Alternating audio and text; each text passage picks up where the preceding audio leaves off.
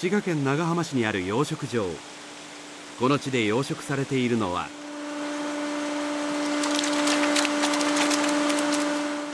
近江エビです。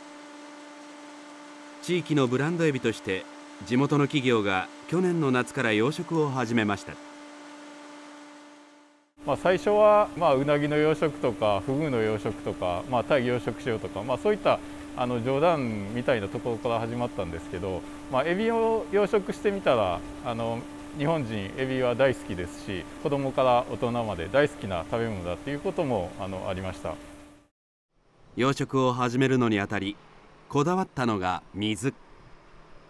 一般的なエビの養殖は海水を使いますが滋賀県に海はありません。そこで目をつけたのが養殖地のすぐ近くにある伊吹山です。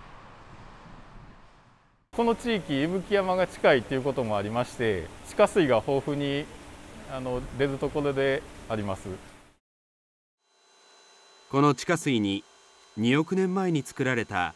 不純物の少ないフランス産の岩塩を混ぜ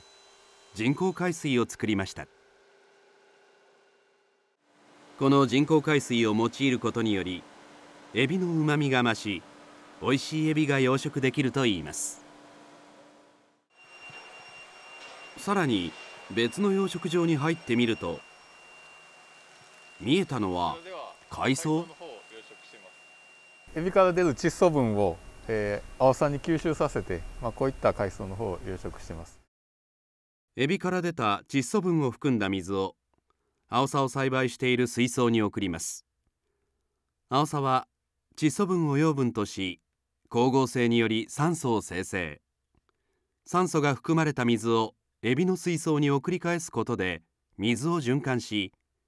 養殖と栽培両方に適した水質を維持できます。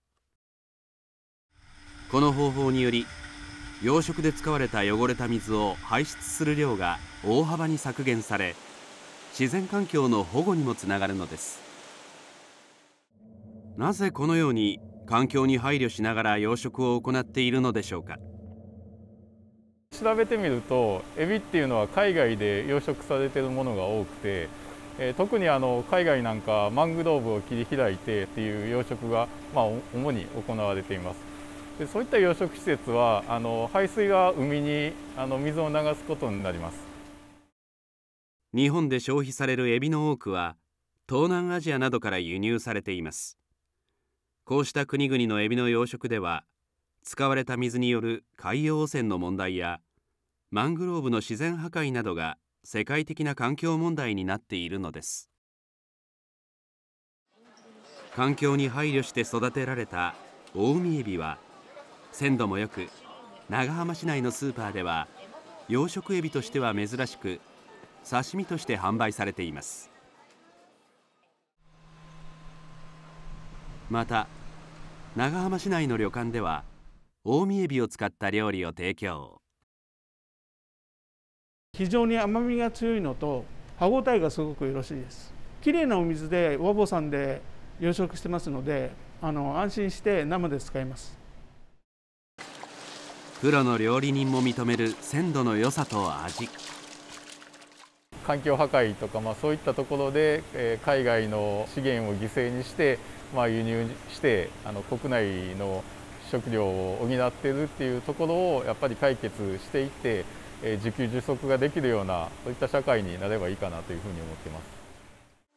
人にも地球にも優しい養殖法。今後国産の養殖エビが増え少しでも多くの人々に届くような社会になっていくことが期待されます。